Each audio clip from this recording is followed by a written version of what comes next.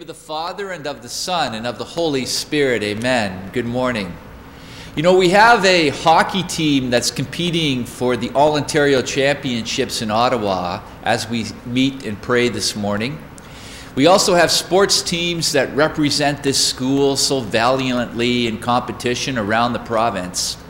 But yesterday, I had the good fortune to be able to be present, to witness, and to cheer for an entirely different team. Yesterday, the St. Paul Wolverine Skills Canada team competed in a grueling competition at St. Aloysius Gonzaga Secondary School in Mississauga. Skills Canada takes students who have various abilities, various talents that they have been developing and perfecting here at St. Paul's School and puts them in competition with their counterparts uh, from secondary schools throughout Mississauga and Brampton. If you've never been to Skills Canada, it's hard to imagine how intense the competition is. The various skills and abilities that are on display, students with talents in these skills are put head to head with students and teams in competitions that take up to six hours. The, the competition is intense. The uh, working conditions are sometimes less than favorable. I was with the woodworking construction uh, teams yesterday. We were working in a tent that had to be evacuated in the parking lot because the winds were gusting. It was gale like with winds up to 90 kilometers an hour. So the students compete against talented young people from around the area and you know, the St. Paul Skills team cleaned up.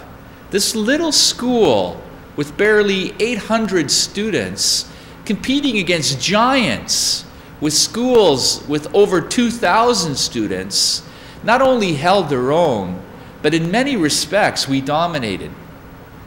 The success of the St. Paul Wolverine Skills Canada team speaks to the unbelievable talent in this school, but it also speaks to the unbelievable teachers who prepare the students for these competitions. Not just our TechGA teachers, but the teachers who teach all of the disciplines that go into making these students such well-rounded people. You know, I watched, and not only did I watch, but I was a referee and it was very embarrassing because I was a carpenter referee. And an expert from industry came over and asked me what my experience was. And I said, well, my experience in carpentry is that I love Jesus, and Jesus was a carpenter. He laughed, and so did I.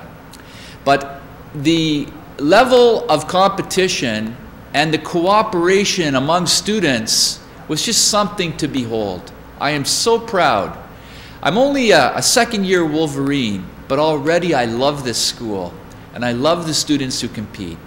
So if you see the Skills Canada team today wearing their bright orange t-shirts and wearing medals, many of our students medaled, uh, please congratulate them. And even those students who didn't receive medals know that the competition was overwhelming. So many, hundreds of competitors. So we're so proud. So for all of our St. Paul Wolverine teams, we thank you. Today, let's just thank the Skills Canada team. And let us remember, too, that God gave us all gifts. God gave us all abilities. Many people use these gifts and abilities to make themselves rich. They want to keep the money for themselves.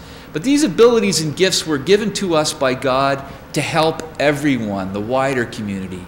So let's always be ready to use our gifts to serve others. And glory be to the Father and to the Son and to the Holy Spirit, as it was in the beginning, is now, and ever shall be, world without end. Amen. Now, to Claire, Joseph, and James, I'll see you right after school for the Salesian meeting. The students in Mr. Powers' uh, uh, science class we're leaving to go to the forensic science building immediately after these prayers, so don't be late. There's going to be some traffic in downtown Toronto. And St. Paul, please pray for us. In the name of the Father, Son, and the Holy Spirit, amen.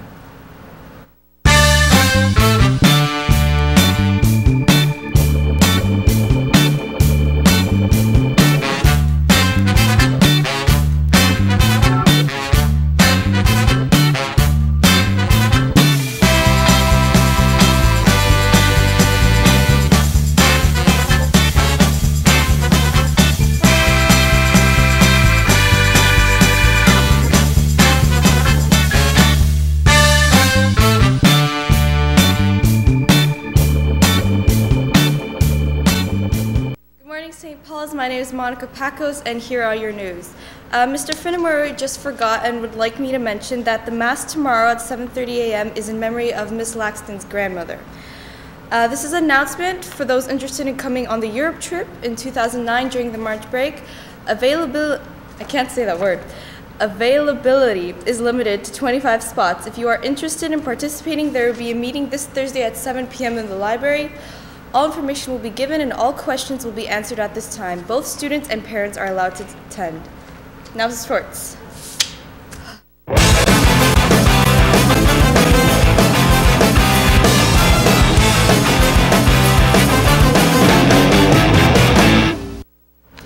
A reminder to all students interested in trying out for the track and field team, there will be a tryout today in the gym at 2.30 p.m. Uh, there will be a girls slow pitch practice Thursday after school at 2.30 p.m. as well. And there will be a badminton practice Friday, April 4th in the morning at 6.45 a.m. If you have any questions, please see Miss Mahendran. That's all the news for today. The song of the day is 99 Red Balloons by Goldfinger.